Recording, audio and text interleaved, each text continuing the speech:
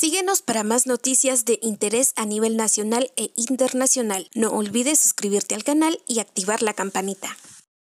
Bueno, hay varios temas aquí sobre desnutrición crónica. El dato más reciente que tenemos sigue siendo el de la encuesta de salud materno-infantil, que es 2015, que es el que se mencionaba, mencionaba el vicepresidente, pero que prácticamente nos dice que uno uno de cada dos niños tiene nutrición crónica en el país. Eso, se mantiene. Ahora sobre desnutrición aguda, ¿verdad? Que ustedes saben que son, son diferentes. Una tiene un impacto más a largo plazo y la otra que requiere acción inmediata. La desnutrición aguda, según el último informe que nos compartió el Ministerio de Salud, que fue la semana número 35, hay 21.017 niños eh, casos casos, perdón, con desnutrición aguda.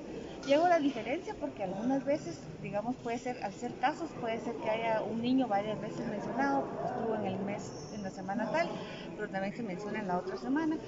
Y el Ministerio de Salud es muy claro, hasta con letras rojas nos ponen sus informes de que ellos cambiaron su sistema de, información o de registro y que entonces eh, tienen que verificar esas, esas cifras. Pero el dato oficial que tenemos es ese. Síguenos para más noticias de interés a nivel nacional e internacional. No olvides suscribirte al canal y activar la campanita.